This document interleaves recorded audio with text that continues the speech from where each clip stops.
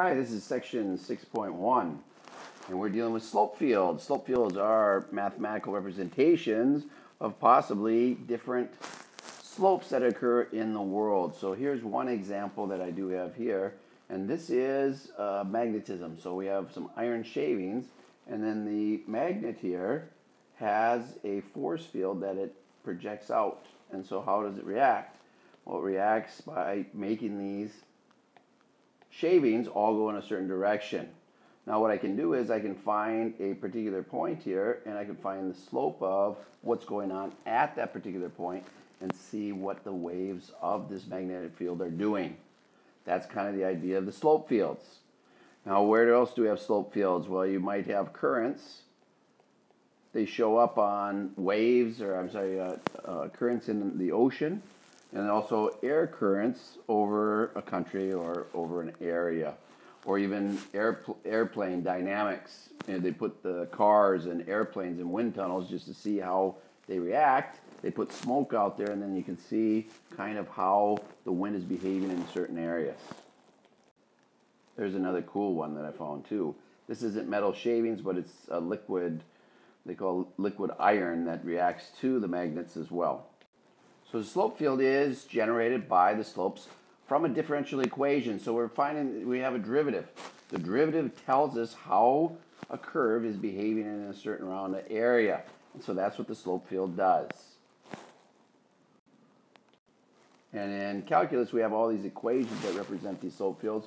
But if you take the air patterns over the United States and look at those vector fields, which they call them in, calcu- uh, in physics, they're not going to respond to an equation. So most of these things you can't use an equation for, but what we have in mathematics is equations to represent these and then you get a better feel for them. So let's look at the first example here.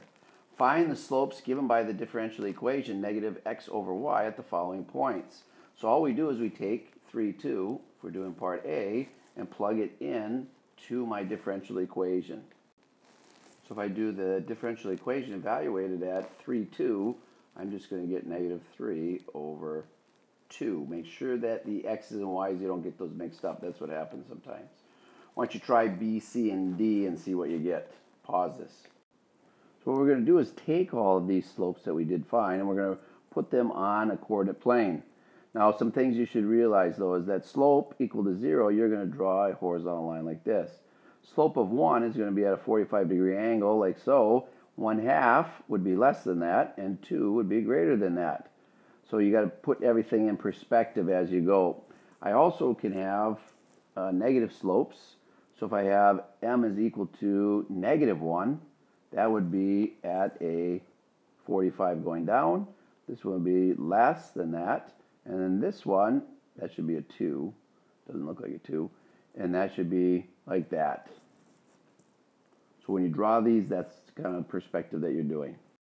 So if I look at my first one here, at the point 3, 2, I get a slope of negative 3 halves.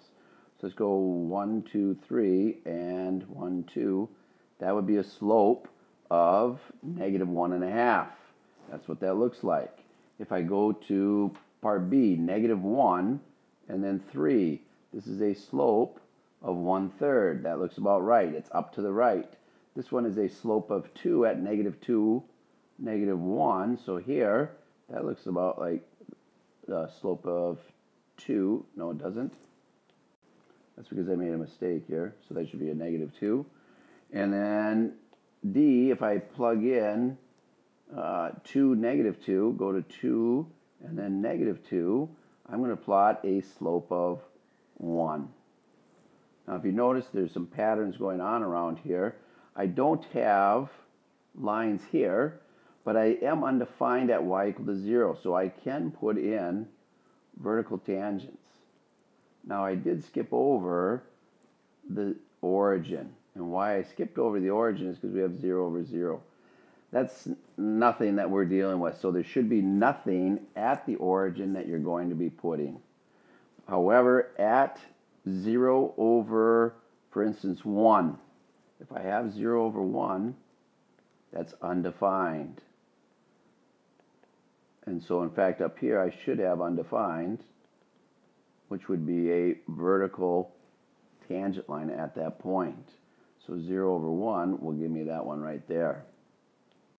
So make the segments long enough so I can see the slopes, but don't make them too long that they're running into each other. So why can't we find slopes when y equal to 0? Well, we just said that. If it's 0 over 0, don't draw anything. If it's 0 over a value, then you can do a vertical segment, because that's what the slope would be. So they want us to fill in the rest of these. I'll do some of them. We know that when x is equal to 0 and y is equal to something else, I'm going to get a 0. So everything that's on the y-axis here, I'm going to get a horizontal tangent line at each one of those points. Remember 0, 0, I don't do anything. And then here I'm going to have a slope of 1, looks like. And then here I'm going to have a slope of 2 and then a slope of 3 if I'm doing that right. So continue these on and see if you can figure out what the other ones will represent. The missing points, in other words. So there's my finished product. Notice on the diagonals here, you have a slope of either 1 or negative 1. So you can zip those across. There's lots of little patterns in these things. Sometimes they replicate themselves a lot, sometimes not so much. But you can look for patterns and see if you can figure out the rest of them by that.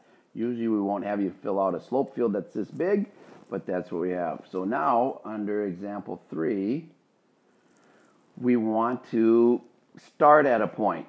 So what I like to say is that, for instance, if I have this slope field here, I might have a situation where I drop my hat in the water, so to speak. So if this is, the slope field represents uh, water currents. Maybe I, for instance, drop my hat in the water at 0, 1. If I do that, then I kind of want to follow the pattern of the curve to figure out where I'm going to flow to after this. Okay, so if I draw this, this thing is going to come, and it, it, you can kind of see that this stuff is like a circle. So I'm kind of coming here, and if I drop my hat in the water, I go towards this side, and then it's going to go down, like so. Now I do have to say something that these slopes at y equal to zero, you have to talk to your teacher and see how they want you to deal with it. Maybe your teacher doesn't want you to draw those vertical segments. I think this textbook is telling us that with this statement right here. However, some other people might have you do that. So I, I'm not clear on that right now, but that's what we're doing. Also, here we want to do an open interval. So we do want to stop here. So this should be an open circle here and here.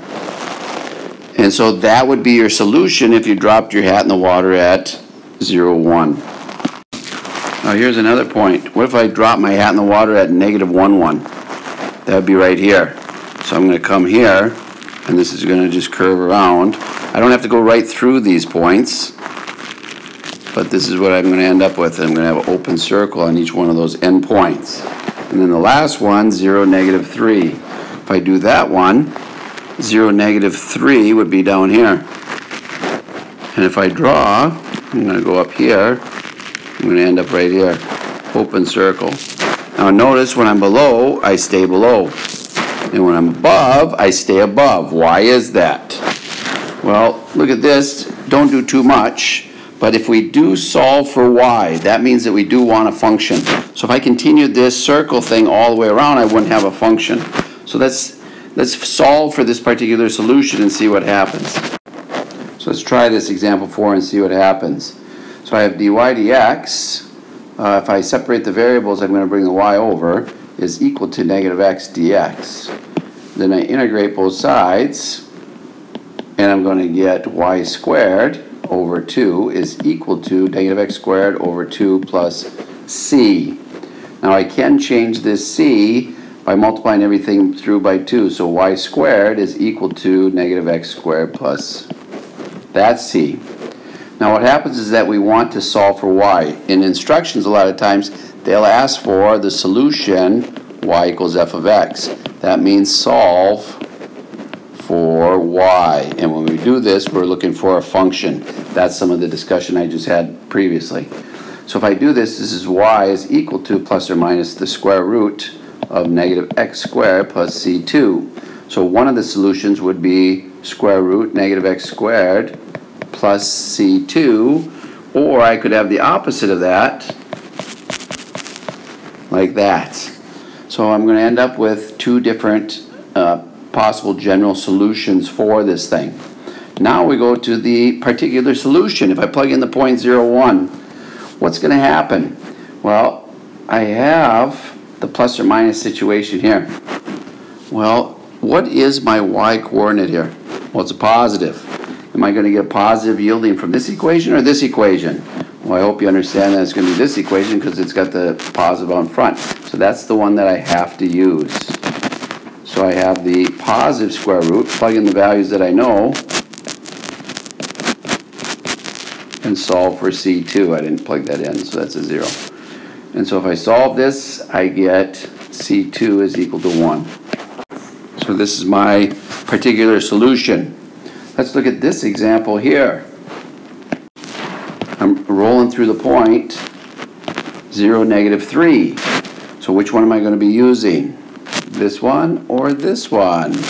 Well, the negative 3 tells me that I need to yield a negative 3 for my y coordinate, so it has to be that equation. So I have this equation here. And so I plug in the 0, negative 3, and you get this equation here. I lost a lot of these negatives, I'm sorry, these squareds, and so make sure you put those back in if you missed those before. Should be negative x squared under the square root symbol. I missed that in a few places. Make sure you get that in. And here, I need to yield the negative 3, so I need the negative there. So that was the whole point of that problem. So the y coordinate tells you, are you on the upper half of the graph, or the negative tells me I'm on the lower half of the graph. So this would be the pictures of what you would end up with for each one of these solutions. So since I wanted a function, I only wanted half of the circle, the semicircle, uh, either top or bottom. So I hope that kind of clarifies what I was talking about before. Example number five.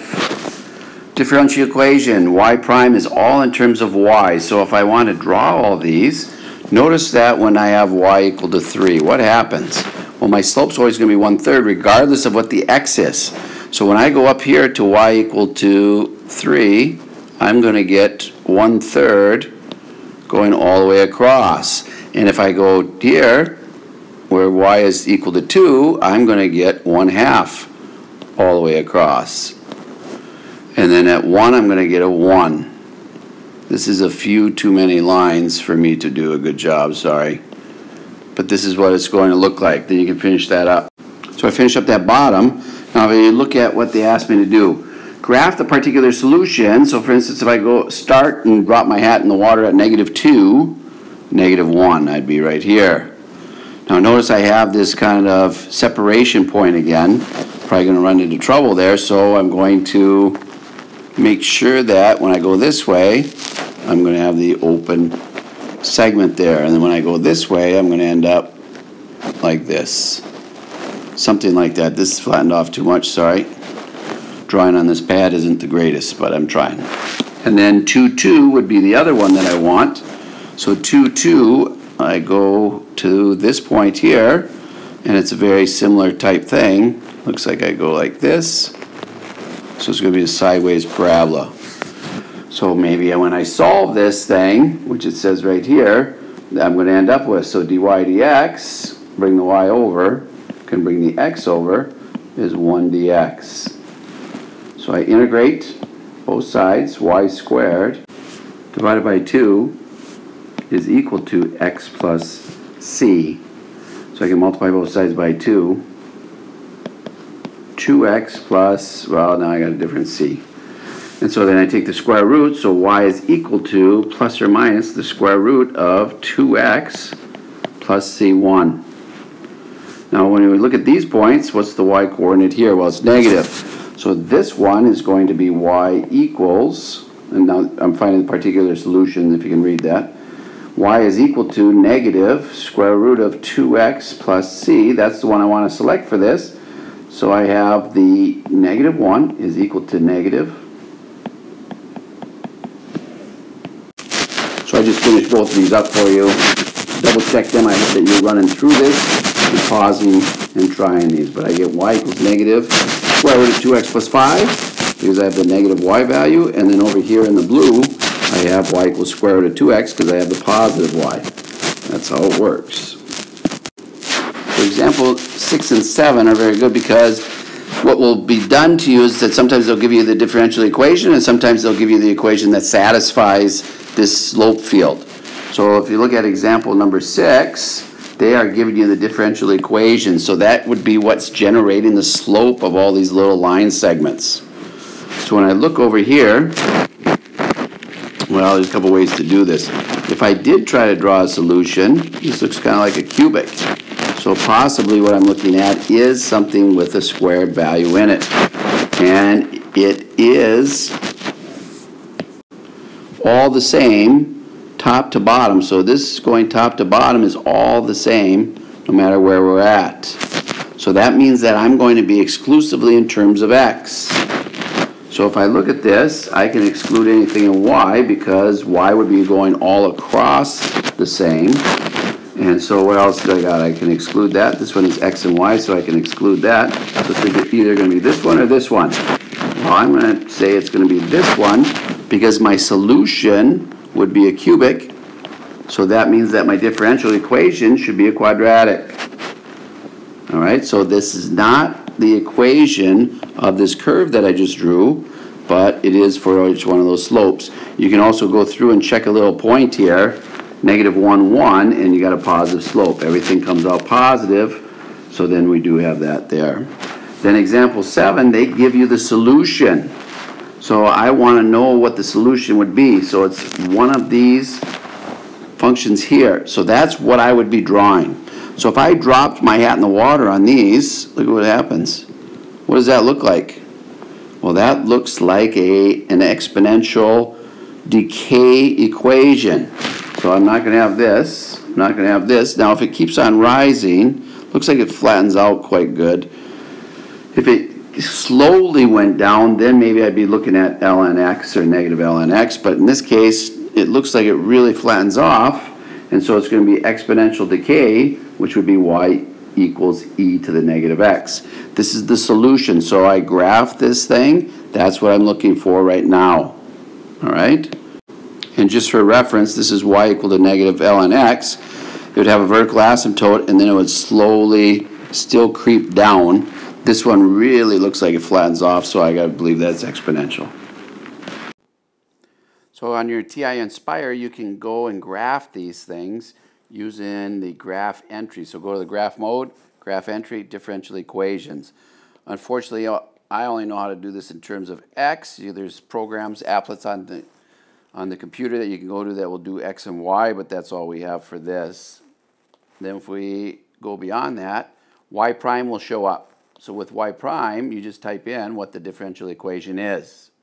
And then you'll get something like you have down here. This is the graph of dy dx is equal to sine of x. But now if I graph this, like if I drop my hat in the water and I wanted the solution curve, notice what the solution curve is.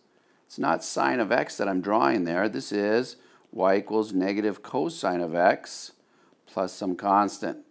This is, the drawing is the differential equation. I'm, I'm sorry, I said that wrong, is the solution. And then this is the differential equation that we do have. Now I also can put in a point here, so if I put in 1, 0, I would go to 1, 0 and it would graph the solution curve for me at 1, 0. Here's an example where I plugged in the point 2, negative 1, which is right there, and then it gives me the solution. So play around with that, try that, it's kind of fun.